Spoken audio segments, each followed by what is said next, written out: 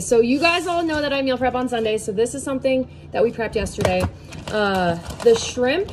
And so sometimes prepping doesn't mean cooking it fully until it's like 100% ready to eat. Sometimes it means prepping it to a point where you can just throw it in the oven. And that's what I do. Because I don't like leftover shrimp heated up. I just think it's kind of gross.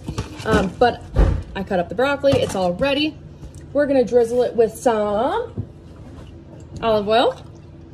And this is a very, very, very, very protein dense dinner.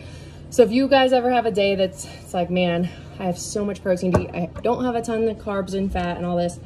This dinner is super lean. Um, but if you have room, add something with it. Add sweet potatoes, add potatoes, add something, fruit.